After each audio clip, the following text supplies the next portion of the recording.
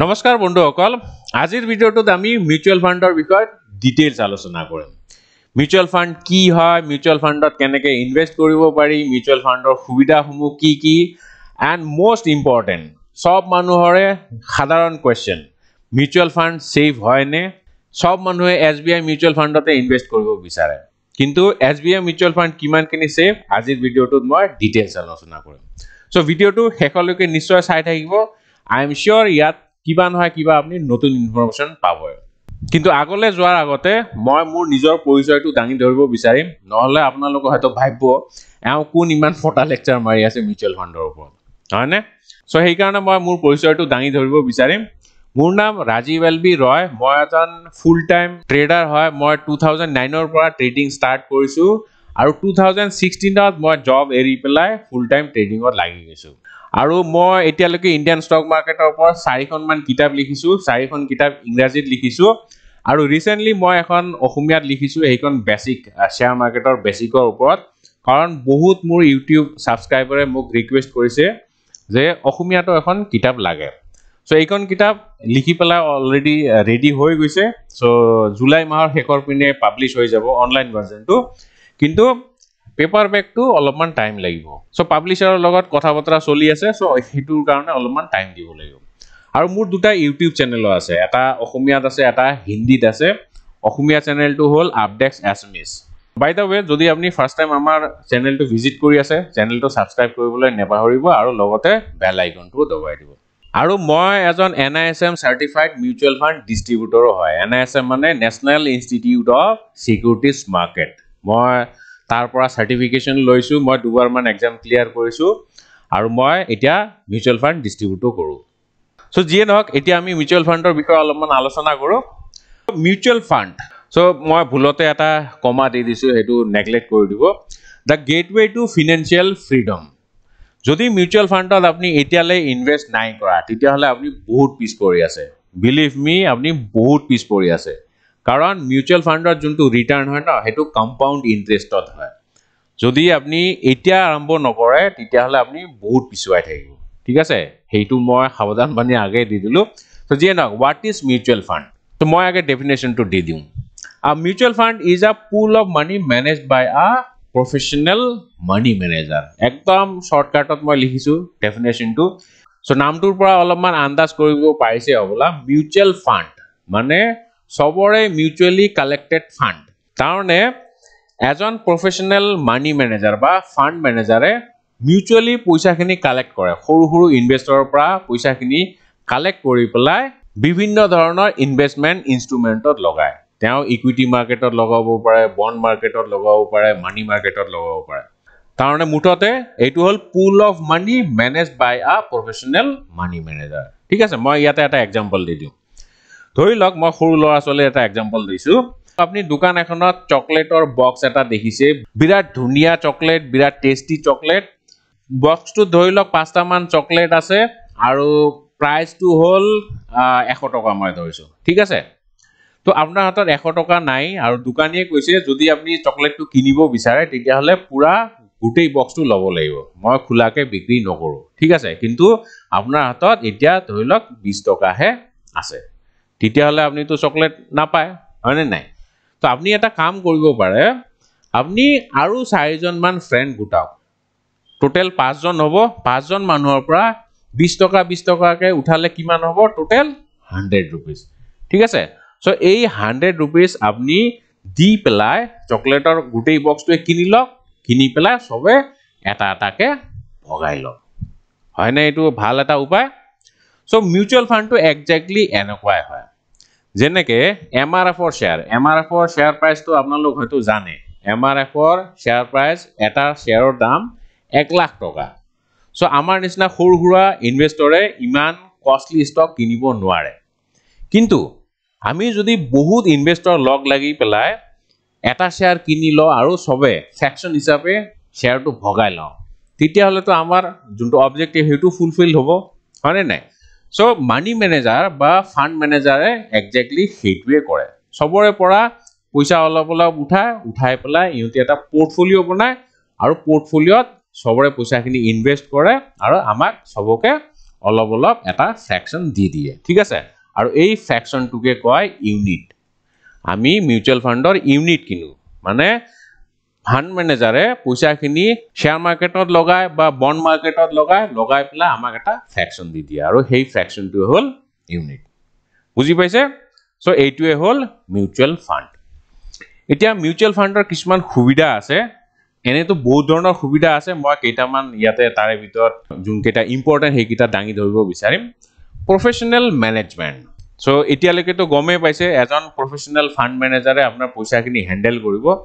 চ' যিহেতু তেওঁ এজন প্ৰফেশ্যনেল মানুহ মানে তেওঁ বহুত টেলেণ্টেড হ'ব লাগিব তেওঁ এজন এক্সপিৰিয়েঞ্চ মানুহ হ'ব লাগিব কোম্পানীয়ে তেওঁক হায়াৰ কৰিছে আপোনাৰ পইচাখিনি হেণ্ডেল কৰিবলৈ। চ' চবৰে পৰা তেওঁ অলপ অলপকৈ পইচা উঠাব পইচা উঠাই পেলাই তেওঁ বিভিন্ন ধৰণৰ ইনভেষ্টমেণ্ট ইনষ্ট্ৰুমেণ্ট কিনিব। ঠিক আছে? তেওঁ ষ্টক কিনিব পাৰে বণ্ড কিনিব পাৰে বা গ'ল্ড কিনিব পাৰে কিনি পেলাই আপোনাৰ পইচাখিনি তাত লগাব। আৰু তেওঁ যিহেতু এক্সপিৰিয়েঞ্চ মানুহ তেওঁৰ এটা টীম থাকিব। চ' ইহঁতি ডেইলি মাৰ্কেটৰ বিষয়ে অধ্যয়ন কৰিব অধ্যয়ন কৰি পেলাই কোনটো ভাল কোনটো বেয়া কোনকেইটা ষ্টক কিনিব লাগিব কোনকেইটা বিক্ৰী কৰিব লাগিব চব ডিচিশ্যন ইহঁতি ল'ব পাৰিব। আৰু তেওঁলোকে ৰিস্ক মেনেজমেণ্টটো ধুনীয়াকৈ কৰে। কাৰণ তেওঁলোক বহুত এক্সপিৰিয়েঞ্চ মানুহ। ঠিক আছে? চ' প্ৰফেশ্যনেল ফাণ্ড মেনেজমেণ্ট দুই নম্বৰ এডভান্টেজটো কি? ডাইভাৰ্চিফিকেশ্যন মিউচুৱেল ফাণ্ডত পইচাখিনি আপোনাৰ ধুনীয়াকৈ ডাইভাৰ্চিফাই হৈ যায়। ডাইভাৰ্চিফাই হৈ যায় মানে কি? আপোনাৰ পইচাখিনি যে ল'লে ফাণ্ড মেনেজাৰে পইচাখিনি এটা ষ্টকত কেতিয়াও নলগায়। ইহঁতি বিভিন্ন ধৰণৰ ষ্টক পঞ্চাছটা ষাঠিটামান ষ্টক কিনিব। ঠিক আছে? আৰু চব ষ্টকতে অলপ অলপকৈ পইচা লগাই যাব। যাতে আপোনাৰ পৰ্টফলিঅ'টো ডাইভাৰ্চিফাই হৈ থাকে। কিবা কাৰণত এটা ষ্টক যদি বহুত ডাউন হৈ যায় বা বন্ধও যদি হৈ যায় বাকীকেইটা ষ্টকে আপোনাৰ সেইখিনি পইচা কভাৰ কৰি দিব। ঠিক আছে? চ' ৱাৰেন বাফে কৈছিলে put all your eggs into one basket গোটেইখিনি কণী এটা বাস্কেটত কেতিয়াও ৰাখিব নালাগে। ধৰি লওক দহটা কণী আছে আপোনাৰ হাতত দহটা কণী আপুনি বেলেগ বেলেগ বাস্কেটত থৈ দিব। দুটা দুটাকৈ পাঁচটা বাস্কেটত থৈ দিব পাৰে। কিবা কাৰণত এটা বাস্কেট যদি ভাঙি গ'ল পৰি পেলাই বাকী চাৰিটা বাস্কেট থাকিব ন? চ' এটলিষ্ট চাৰিটা বাস্কেটটো থাকিব তাৰমানে আঠটা কণী আপোনাৰ ভালে থাকিব। নহ'লে যদি এটা বাস্কেটতে ৰাখিলে হয় তেতিয়াহ'লে গোটেই দহটা কণী ভাঙি গ'ল হয়। নহয়নে চ' সেইকাৰণে ডাইভাৰ্চিফিকেশ্যন ইনভেষ্টমেণ্টত সেইটো এটা ইম্পৰ্টেণ্ট এছপেক্ট হয় যোনটো মানি মেনেজাৰে ধুনীয়াকৈ হেণ্ডেল কৰে বস্তুখিনি। ঠিক আছে? চ' এইটোৱে হ'ল ডাইভাৰ্চিফিকেশ্যন দেন থাৰ্ড এডভান্টেজটো কি? থাৰ্ড এডভান্টেজটো হ'ল লিকুইডিটি লিকুইডিটি মানে আপুনি অতি সহজে কিনা বেচা কৰিব পাৰে। আপুনি যেতিয়া মন গ'ল তেতিয়া কিনিলে যেতিয়া মন গ'ল বা যেতিয়া পইচাৰ প্ৰয়োজন হ'ল তেতিয়া আপুনি বিক্ৰী কৰিলে এজ চিম্পল এজ ডেট ঠিক আছে? চ' আজি আপুনি মিউচুৱেল ফাণ্ড এটা কিনিলে কাইলৈ বিক্ৰী কৰিব পাৰে বা বহুত দিন আগতে যদি আপুনি কিনি থৈছে মিউচুৱেল ফাণ্ডটো আপুনি আজি বিক্ৰী কৰি দিব দুদিন পিছতে আপোনাৰ একাউণ্টত পইচাখিনি আহি যাব। ঠিক আছে? চ' সেইটো হ'ল হাই লিকুইডিটি মানে যেতিয়া তেতিয়া আপুনি পইচাখিনি কেছ কৰিব পাৰে। দেন ফ্লেক্সিবিলিটি চ' আজিকালি মিউচুৱেল ফাণ্ডততো আপুনি বহুত কম পইচাও ইনভেষ্ট কৰিব পাৰে। ইভেন এশ টকা দিও আপুনি মিউচুৱেল ফাণ্ডত এছ আই পি এটা ষ্টাৰ্ট কৰিব পাৰে। এছ আই পি মানে ছিষ্টেমেটিক ইনভেষ্টমেণ্ট প্লান ঠিক আছে আপুনি মাহে মাহে বা উইকলি অলপ অলপ পইচা থৈ গ'ল এশ টকা পাঁচশ টকা এহেজাৰ যিমান ইচ্ছা। ইয়াৰ একো লিমিট নাই আপাৰ লিমিট একো নাই। চ' আপুনি পাঁচশ টকাৰ পৰা আৰম্ভ কৰি এক কোটি দুই কোটি পাঁচ কোটিলৈকে থ'ব পাৰে মান্থলি ঠিক আছে ইয়াৰ একো লিমিট নাই। চ' এইবিলাক হ'ল মুঠতে কেইটামান এডভান্টেজ অফ মিউচুৱেল ফাণ্ড এতিয়া মিউচুৱেল ফাণ্ড কিমান ধৰণৰ আছে? এনেতো বহুত ধৰণৰ মিউচুৱেল ফাণ্ড আছে। চ' এছেট ৱাইজ মানে as per asset class mutual funds are divided into four broad category এনে বহুত আছে কিন্তু এই চাৰিটা হ'ল broad category equity fund equity fund মানে এইটো স্কিমত আপোনাৰ পইচাখিনি ডাইৰেক্ট ইকুইটিত লগাব। ইকুইটি মানে আপোনাৰ পইচাখিনি ষ্টক মাৰ্কেটত লগাব। ষ্টক কিনিব। ঠিক আছে? চ' অলপ অলপ বণ্ড বা ডিভেঞ্চাৰ থাকিব পাৰে কিন্তু মষ্ট পৰ্চন আপোনাৰ ইকুইটি থাকিব ষ্টক থাকিব যেনেকৈ ৰিলায়েন্স থাকিব H D F C bank থাকিব আই টি চি থাকিব এনেকুৱা বিভিন্ন ধৰণৰ শ্বেয়াৰ থাকিব আপোনাৰ পৰ্টফলিঅ' আৰু ইয়াৰ ভিতৰতো বহুত কেটেগৰী আছে যেনেকৈ স্মল কেপ ফাণ্ড আছে মিড কেপ ফাণ্ড আছে লাৰ্জ কেপ আছে টেক্স এডভান্টেজ ফাণ্ড আছে ব্লু চিপ ফাণ্ড আছে এইবিলাক চব ইকুইটি ফাণ্ডৰ ভিতৰত পৰে। ঠিক আছে? দেন আহিব আপোনাৰ ডেট ফাণ্ড ডেট ফাণ্ড মানে আপোনাৰ পইচাখিনি বণ্ড মাৰ্কেটত লাগিব। কৰ্পৰেট বণ্ড বা ডিভেঞ্চাৰটো নাম শুনিছে? চ' বণ্ডবিলাক বা ডিভেঞ্চাৰবিলাক মাৰ্কেটৰ উঠা নমাৰ লগত একদম ডিপেণ্ডেণ্ট নহয়। সেইটো আপোনাৰ ইণ্টাৰেষ্ট ৰেটৰ ওপৰত ডিপেণ্ডেণ্ট হয় আৰ বি আইৰ যোনটো ৰেপো ৰেট সেইটোৰ ওপৰত ডিপেণ্ডেণ্ট হয়।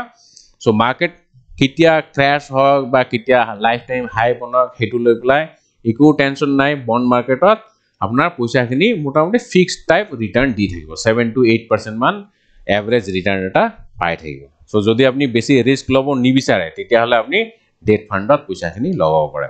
আৰু ইয়াৰ ভিতৰতো কিছুমান ছাব কেটেগৰী আছে। চ' সেইবিলাক মই নকওঁ। তাৰপিছত আহিব মানি মাৰ্কেট ফাণ্ড এইবিলাক ফাণ্ডত আপোনাৰ পইচাখিনি মানি মাৰ্কেটত লগাব। যেনেকৈ অভাৰনাইট ফাণ্ড আছে গিল্ড ফাণ্ড আছে সেইবিলাক মানি মাৰ্কেট ফাণ্ড হয়। চ' ইয়াৰ ৰিটাৰ্ণটো মোটামুটি ফিক্সডে হ'ব। কিন্তু আল্ট্ৰা শ্বৰ্ট টাৰ্ম বহুত কম সময়। আজি কিনি পেলাই আপুনি কাইলৈও পইচাখিনি উঠাব পাৰে। চ' তেনেকুৱা ফাণ্ডো আছে সেইবিলাকক কয় মানি মাৰ্কেট ফাণ্ড ঠিক আছে?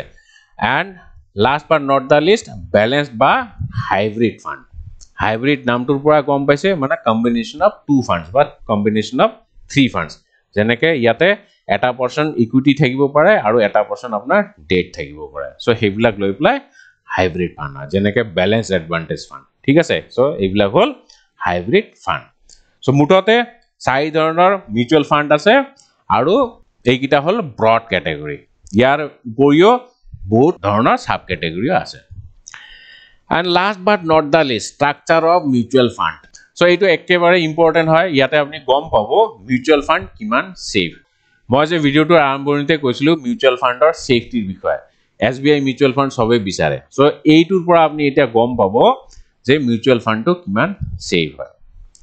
চ' মিউচুৱেল ফাণ্ডৰ ষ্ট্ৰাকচাৰ আপুনি যে কোনোবা এটা কোম্পানীৰ মিউচুৱেল ফাণ্ডত ইনভেষ্ট কৰিব পইচাখিনি কেনেদৰে হেণ্ডেল হয় সেইটো আগে চাই লওক। চাওক মিউচুৱেল ফাণ্ড কোম্পানী এটা খুলিবলৈ হ'লে চবতছে প্ৰথমতে স্পনচৰ লাগিব। কাৰণ কোম্পানী খুলিবলৈ হ'লে পইচাৰ প্ৰয়োজন হয়। নহয়নে? চ' স্পনচৰে কি কৰিব? কোম্পানী খুলিবলৈ পইচা দিব। ঠিক আছে? পইচা দিলে। পইচা দি পেলাই পইচাটো কোনোবা নহয় কোনোবাইতো হেণ্ডেল কৰিব লাগিব আৰু আপোনাৰ পইচাখিনি যাতে সদব্যৱহাৰ হয়। সেইকাৰণে স্পনচৰে কি কৰিব? ট্ৰাষ্টি এপইণ্ট কৰিব। ট্ৰাষ্টি মানে ইয়াত মানুহো থাকিব পাৰে বা অৰ্গেনাইজেশ্যনো থাকিব পাৰে। কিছুমান স্পনচৰে অৰ্গেনাইজেশ্যনক ট্ৰাষ্টি বনায়। ঠিক আছে? চ' মিনিমাম চাৰিজনমান ট্ৰাষ্টি থাকিব লাগিব আৰু এই চাৰিজন ট্ৰাষ্টি মাৰ্কেটৰ ওপৰত ভাল নলেজ থাকিব লাগিব। জেনেৰেলি বহুত এক্সপিৰিয়েঞ্চ মানুহ হয় ট্ৰাষ্টিবিলাক ঠিক আছে? ট্ৰাষ্টিয়ে আকৌ এ এম চি এপইণ্ট কৰিব এ এম চি মানে এছেট মেনেজমেণ্ট কোম্পানী আৰু এছেট মেনেজমেণ্ট কোম্পানী কোনবিলাক?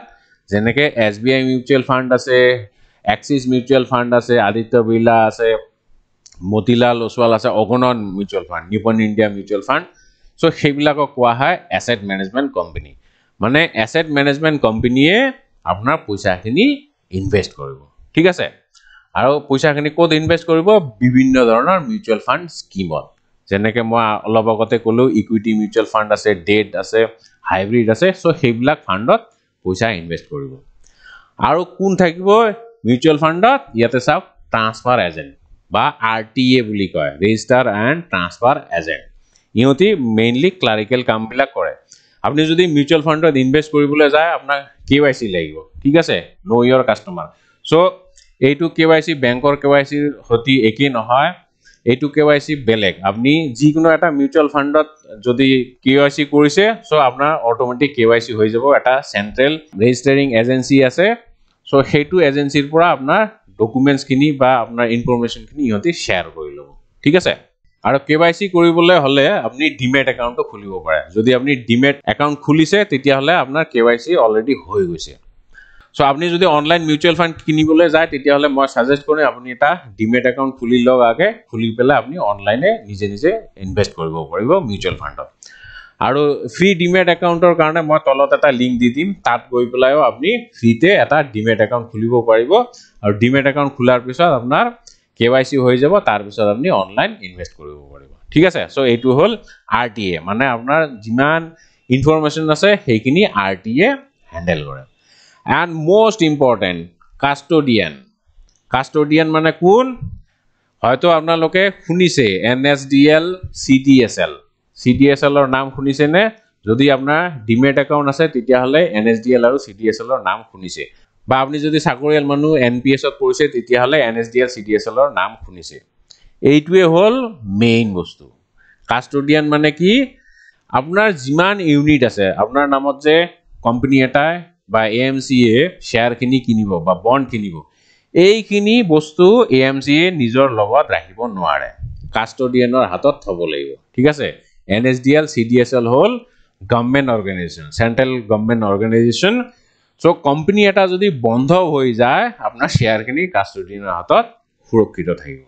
চ' ছেফটি লৈ পেলাই আপুনি কেতিয়াও টেনশ্যন ল'ব নালাগে। আপুনি এছ বি আইত থ'লে যিমান আপোনাৰ শ্বেয়াৰখিনি বা ইউনিটখিনি ছেফ আপুনি যিকোনো নতুন মিউচুৱেল ফাণ্ড কোম্পানীত থ'লেও আপোনাৰ পইচাখিনি সিমানে ছেফ যেনেকৈ নভি মিউচুৱেল ফাণ্ড এইটো এটা নতুন মিউচুৱেল ফাণ্ড কোম্পানী হয়। চ' ইয়াত যিমান ছেফটি এছ বি আইতো একে ছেফটি কাৰণ এছ বি আইও শ্বেয়াৰখিনি কিনি পেলাই নিজৰ কাষ্টডিত ৰাখিব নোৱাৰে এইটো কাষ্টডিয়ানৰ হাতত গতাই দিব লাগিব। ঠিক আছে? চ' কোম্পানী যদি বন্ধও হৈ যায় আপোনাৰ পেনৰ এগেইনষ্টত কাষ্টডিয়ানৰ পৰা আপুনি পইচাখিনি উলিয়াব পাৰিব। ঠিক আছে? চ' এইটোৱে হ'ল মিউচুৱেল ফাণ্ডৰ ছেফটি চ' তেতিয়াহ'লে গম পাইছেনে আপোনাৰ পইচাখিনি কিমান ছেফটি মিউচুৱেল ফাণ্ডত আৰু ইয়াতে চাওক ইয়াত যে মই ষ্ট্ৰাকচাৰটো দেখাইছোঁ চবতছে ডাঙৰ চাৰ্কেলটোত কোন কোন আছে? ইউনিট হোল্ডাৰ আৰু চেবি মানে গোটেই মিউচুৱেল ফাণ্ড ইণ্ডাষ্ট্ৰিটো চেবিয়ে ৰেগুলেট কৰে। চেবিৰ পাৰ্মিশ্যন অবিহনে কোনেও একো কৰিব নোৱাৰে। চ' চেবিয়ে চবৰ পিনে চাই থাকে কোনে কি কাম কৰি আছে। সিহঁতে পূৰা ৰেগুলেট কৰে। আৰু ইউনিট হোল্ডাৰ ইউনিট হোল্ডাৰ মানে আপুনি যদি মিউচুৱেল ফাণ্ড কিনে চ' আপুনি এজন ইউনিট হোল্ডাৰ হ'ব। ঠিক আছে?